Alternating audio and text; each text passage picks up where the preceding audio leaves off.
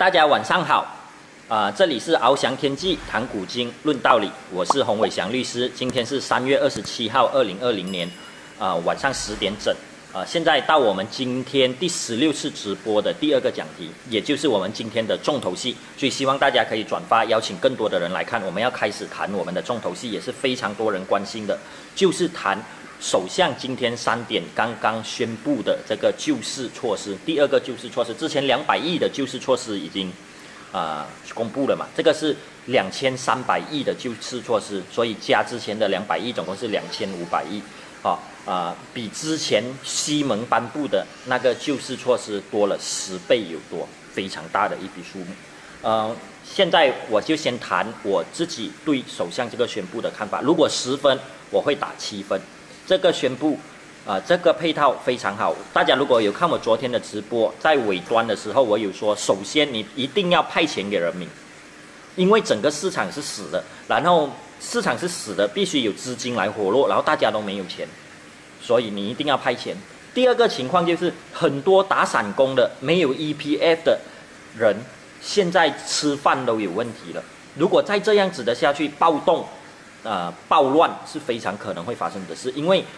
吃饭最大哦。如果一个男人、一个女人看到他家里的孩子，看到年老的父母没有饭吃了，食不果腹了，他们没有选择之下，就只能去犯罪。所以啊、一定要照顾到这些低下阶层的人，大家不要只活在自己的同温层，忘了在外面还有很多穷困，连现在你要跟他拿十块，他都拿不到的人哦。呃，我一直印象很深刻。我去买水果，我买水果从来都不看价钱，因为我也不知道真正多少钱，我就选选选选选选选，我老婆叫我买什么我就买。我看到有马来同胞他们来选了几个苹果之后，啊、算钱，发现不够，他拿完所有的钱了还不够，就放回几粒，之后只买了三四粒的苹果这样子，所以有很多这样子的穷人在，大家一定要把这个同理心。要有，我们作为人跟动物最大的区别是我们有这个同理心，会为他人想。所以之前叫大家不要去囤货，也是因为这个原因。因为你一囤货，物价就会短缺，物物资就会短缺，物价物资短缺，物价就会上涨。哦，物价上涨跟物资短缺最直接受害的人就是这些比较穷困啊、做散工、有一天没一天的人哦。所以我们要为大家想，这是非常重要的。所以政府也派钱了，哦。然后，嗯，他也派得很全面，大学生也有，呃，里面的问题我就不讲啊，等大家底下问我，比如要怎样申请，其实你们不要问我怎样申请，我不是政府，明天就会有咖喱班多案出来的，哦，我相信他应该也不会叫你申请，只要符合资格，他们有得大码，你是 M 四十 B 四十，他应该会直接进给你，最好是这样子啦，不要又要人去申请又要领取，哦，啊、包括给老师也有，给大学生也有。给单身的、未结婚的也有，哦，都很不错。然后我第二个要讲的就是，嗯，不好的地方，这个这个救市措施有什么不好啊？它很大笔数目，但是很明显，它专注的是个人跟公务员，呃，它忽略了，呃，最重要也是我国中流砥柱，我国经济的中流砥柱 SME 中小企业，好、哦。如果没有中小企业，我国就完蛋了。我国的中流砥柱并不是那些大上市公司啊，而是这些中小企业，是这些中小企业撑起来的。我看完了，我也我现在看回去，我也写下了所有的重点，完全是忽略了这些中小企业。他给中小企业的是什么？他有很多贷款，他就是要中小企业。他的意思是给这些中小企业的贷款援助。就是我借钱给你，让你度过这一个难关，好、所以是非常的不好。然后我之前说要强制出台的，我昨天也有说，啊、呃，物主应该降租，应该政，因为政府已经延缓了你的还款期限嘛，你作为业主的，你也不应该收租，你要强制。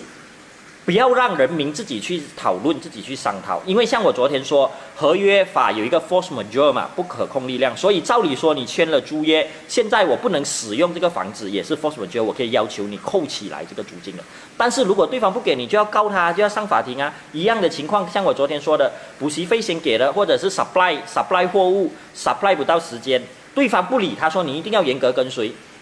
呃补习班不给他讲，不是我不不要交啊，是你不要来，是政府不让交啊，他不退，那你可以做什么？你可以上法庭，当然你会赢，你赢的机会会很大，因为这是 force majeure，确实是 force majeure，可是你赢那已经是几年后的事情了，好，一两年后的事情，然后呃律师费要花多少，花去的时间又是多少，所以。是没有用的，最好政府出台政策、出台命令，啊，多少个月租金减免，私人借，好，这个是最好的，但没有做到，这个是对中小企业非常重要的啊，因为薪金、租金，啊，还有运作费用、水电费这些，就是中小企业最大的 operating cost。operating cost 就是，就算你没有收入、没有生产，你还是要给的，哦。所以呃蛮失望的这一点，这也是我为什么给七分的原因。其实首相穆尤丁的这个呃类似预算案啊，这个救市措施预算案非常的好，但就是忽略了中小企业哈。其实像我这样的人，我也是中小企业哦，我不妄自菲薄，也不妄自尊大，我也是中小企业，我不会稀罕你给我那个千六块哦，一个家庭一次过给千六块，那个呃两千块以下的家庭，我也肯定拿不到。老实说，我也肯定拿不到。我不会稀罕你这个钱，因为这个钱你给我，老实说只只够还我的保险金。我跟我儿子的保险金一个月就要一千八百多块了，所以我拿这笔钱是没有意思的。你现在要出台政策，是要确保我们这些中小企业不会倒闭，因为我倒闭之后我必须裁员，我裁员我我不给你赔偿金，我不怕，因为我公司已经倒了，你去告我我也不怕。不是我不能给你，是我公司没本事给你了，所以你要避免这样子的倒闭潮，倒闭潮之后的裁员潮跟失业潮的出现，你一定要有这些政策来出帮助这些 SME。可是政府没有，当然，呃，他有出台一个呃 subsidy 五八，就是薪水的补贴。很多人认为薪水的补贴是呃员工跟我们，比如我的呃律师是三千块薪水。他跟我拿了三千块薪水，他还可以每个月跟政府拿六百块。跟我看政首相的发布所得的，我不认，我不是这样认为啊。他既然说的是 subsidy，我觉得意思应该是三千块薪水，六百块由政府出。两千四由我们出，当然这也不无小补。如果真的是这样子的情况，这也是不无小补，但显然还是不足够的。哦，像三千块，我一个工人我还要给两千四，我省了六百，虽然有省，但明显还是不足够的。政府必须出台更强硬、更人性化的策略，否则，呃，老实说，我在十六号的时候，这个限行令还没有延长，才刚宣布，大家都是我的铁粉，我看到很多朋友都是现在有来的，我当时就说了。啊，很多人会破产，很多中小企业会倒闭，哦，大家不要以为我是吓你，以为是天方夜谭，这是很可能会发生的。包括我今天的文章的一开头我也写，呃，大家，我可以肯定的告诉大家，这个疫情过了之后，如果我们都挺过去了之后，你过的生活跟之前过的生活肯定是不一样的，包括我本身也是不一样，因为我们的经济至少倒退五年或十年，等于过去五年的。成长全部都白费了，过去五年的时间都白费，这是肯定的。从我们现在可以看到，新加坡这一季度啊，就是今年二零二零年头三个月，跟去年二零一九年头三个月比，就跌了十八仙。你要知道，新加坡过去几年的经济成长都是一八仙、两八仙、零点多八仙哦，不高。这十八仙的跌幅，就等于一次过跌了八九年的经济成长。你可以想一下吗？过去八九年赚的钱，突然。一夜之间没有了，所以生活肯定是不一样了，好。然后呃，接下来我讲一千一百人了，非常谢谢大家，接大家再帮我 share 一下哈，还是 Facebook 比较多人，嗯。然后大家非常关注的一个情况就是这么多钱从哪里来？嗯，首相这一次的救市宣布是两千三百亿，加马哈迪之前宣布的两百亿，就是两千五百亿。大家记得。二零一九年十一月十月十一月公布的预算案，由林冠英公布的预算案，它的整个开销是多少吗？我们一年的预算案开销，次至三点二零年，就是一九九零一九二零一九年公布二零二零年的预算案，它的总消费额是多少？大家还记得吗？我相信很多朋友都不记得，虽然只过了四五个月，好，是两千九百七十亿。所以，请大家记得，我国一年的预算案，次至三点二八千的预算案啊，就是我国一年可以花的钱，政府花的所有钱，包括给工人薪水，包括给租金，包括保养政府大楼，包括去投资，包括去建 MRD 的所有费用，才两千九百七十亿。但我们首相今天就宣布了两千三百亿的救市配套，加之前两百亿，所以大家都称两千五百亿，我也称我就称两千五百亿。但其实他今天只宣布两千三百亿，大家必须了解。所以我们这首相就宣布了相当于一年我们消费的呃 budget 出来。我举一个很形象化的例子，我一年的所有费用，比如是十万，包括我供屋、供期、买饭。呃，带老婆去玩耍，保养我的家，洗地，请工人来的价呃的费用，一年是十万。然后我现在突然生病了，我我突然生病了，我在这一个月里面就要花十万出来的情况，我国现在面对的就是这种情况，所以很直观的一个问题就是钱从哪里来？这笔钱应该从哪里来？好，呃，我。刚才有提，去年的财政预算案是两千九百七十亿，赤字是三点二八千。然后大家知道，呃，国家的收入是多少吗？赤字的意思就是花费高过收入三点二八千。所以我们只要简单的算一下，我也去算了哈，简单的算一下，我们就可以知道，啊，去年的收入，政府不是去年的收入，去年预算案预测今年政府的收入是多少？预测今年政府的收入是两千八百七十八亿，哦，所以百分之一百，这两千七百八十八亿还不够去年政府的运作。去年预估今年政府的运作还不够今年政府的运作，那我们要去哪里找两千五百亿出来呢？啊，所以很多人会说用储备金，呃。说这个这样子说的人，我去纠正，呃，因为我脸书朋友有很多人都说，哎呀，终于动用我们的储备金了，啊，我们储备金很多钱，所以可以这样子动用，我都有去纠正，绝对不可能是动用储备金，你想多了，你不了解储备金，储备金不是这样子用，我国确实有蛮多的储备金，但不是很多了，我们有一千亿，一千零多亿，啊，我上了 Bank Negara 的网站看，我们有一千零四亿的。储备金美金，所以换算成马币大概四千出亿吧，现在四点二嘛，四千两百亿的马币，不可，所以很多人就说可以拿两千五百亿出来做救市配套，其实是不能的啊。为什么？大家只要去 Bank Negara 的网站看一下就好了。这些储备金并不是现钱存在中央银行，你懂吗？没有人会这么笨，也没有人会把这么大的现钱放在银行里面的。好，所以它不是一个流动性的现金，它最主要的部分就是，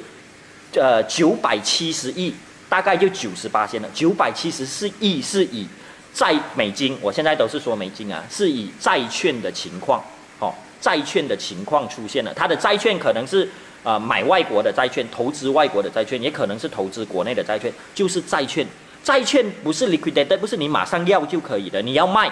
如果你现在抛售，价钱就会大跌，包括我国的储备金的价格也会跌，所以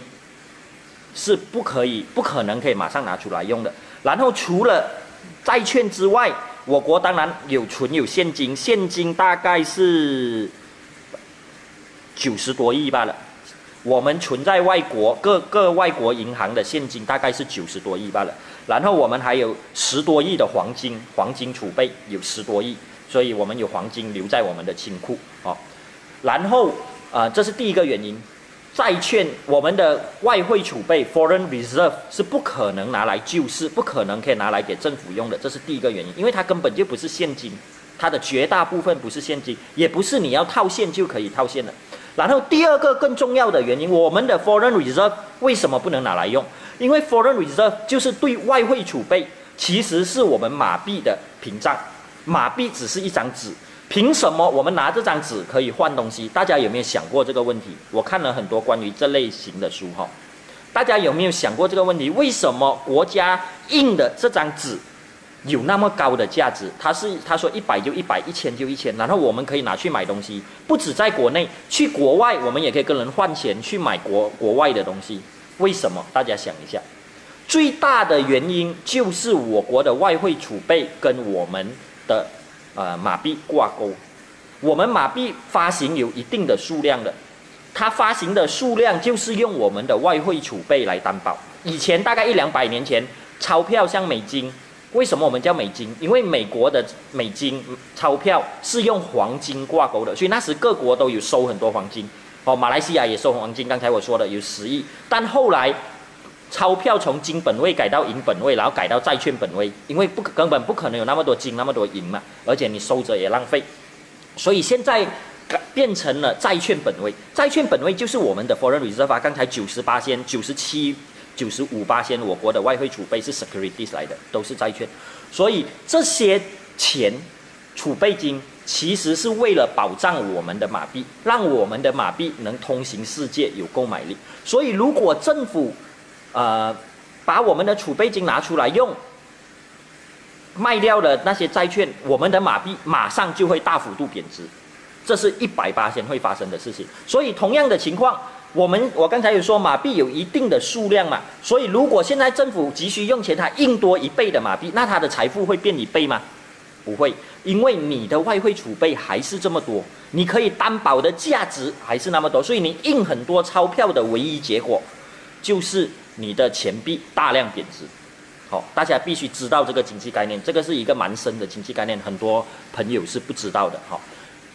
可以大量印钱而货币不下跌的世界上只有一个国家，包括日本之前量化宽松啊，大家看报纸一定都会看到量化宽松这个名字，量化宽松就是大量印钞。好。啊，日本印钞，它的钞票也大量贬值，但这是它的目的，因为日本经济停顿已经很多年了，所以它要让钞票贬值，让人民愿意出来购物，推动经济。只有啊，我刚才说只有一个国家可以大量印钞，它的美金不会大幅度贬值，只有美国。为什么？因为美国有美军，因为美国有美军。我国全世界的货币政策都是一篮子的。哦，如果美国急速崩盘，会造成美国的动荡，所以美国是绝对不会让这样子的情况出现啊，他一定会去干预，出兵干预，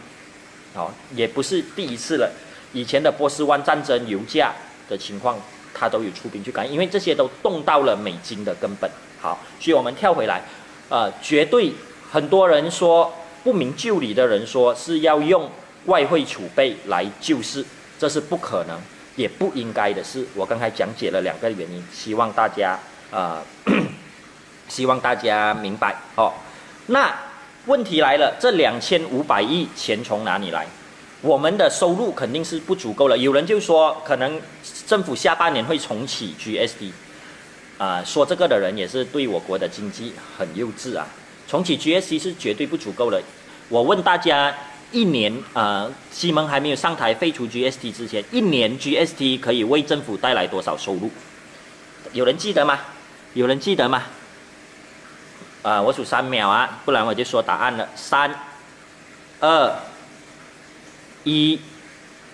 没有人记得哈，我没有看到有人回答，只收了四百多亿呀，三年收了八百多亿，从二零一五、一六、一七年。这三年才收了八百多，因为第一年是四月才开始嘛，啊啊，所以收没有那么多，只收一年只收四百多亿，所以要收五年才足够我们这一次的救市政策，而且这四百多亿还没有扣本来的 SST，我们 SST 每年可以收两百多亿的，所以你推出 GST 你一定要废除 SST 嘛，所以你真正净赚你推出 GST，SST 本来有两百多亿。好，所以你推出 GST 有四百多亿，不能收这两百多亿了。其实你只净赚两百多亿，所以你算一下，要十二年才够我们现在的这个情况。好，当然推出 GST 会收多两百亿的钱，当然对政府也是不无小补，但绝对是不足够，完完全全是不足够来应对这次政府的啊救市配套的。那又回到我的问题了，又回到我的问题，啊。钱从哪里来？两千五百亿。嗯，我现在就回答大家，我不卖关子，我讲话直来直往的哈。就像昨天直播也讲错话，跟我那位朋友很不好意思哦。唯一的法子就是发行国债，哦，我国一定会发行国债，所以我国的债务又会增加。啊，发行国债、发行债券，叫外国人来买。当然，外国人现在不会去买了。老实说，外全世界都很惨。哦，不只是马来西亚罢了。那买的人是谁？我国拥有最多现金，最能投资的是什么？大家想一下，EPF 咯，叫 EPF 吃下去这些债券作为他们的长期投资。当然政府会给他利息，啊，债券的利息通常都蛮不错的，因为它是稳定的。除非这个国家倒，除非马来西亚破产，像以前的希腊这样，不然这个债券永远都会定时给你利息的。哦，所以是很稳当，但是它的利息也不会很高，也不会很低，因为它的风险相对低嘛。一个国家要倒闭没有这么容易嘛，所以他会叫公积金局来买咯，所以钱就是从那里来的。呃，两千多亿对公积金来说是小数目啊，当然不止公积金一个人买了，他可能会叫外国的基金来认购。公积金当然是最大的部分，然后我们还有 KWAP，就是军人警察的公积金，啊，然后还有其他的退休金，他们都会去购买的。所以钱最主要的来源，啊。大家看我说的对不对？一定是发行债券的，国家会再发行债券来筹集这笔钱，好，啊，所以我也说了差不多的时间，啊，大概就讲到这里，我不要讲的太深，大家不要问我怎么去申请啊，我不是政府，我不是木有丁，大家等 Gadis Banduan，现在政府的效率提升了，在三四天前我就开始称赞政府有做对了一些东西，我讲的一些是我讲的一些我没我讲了他没有做，哦。像我刚才说的那些啊，所以政府应该明天就会推出。我希望他不要再让劳民伤财，让人民去呃去申请哈。我也最希望他可以做出租金减免的东西。我也会跟我的屋主谈，拿那个 force majeure 的条文出来谈哦。哦，这 force majeure 的条文是很好用的，面对这样子的情况。所以好，我现在。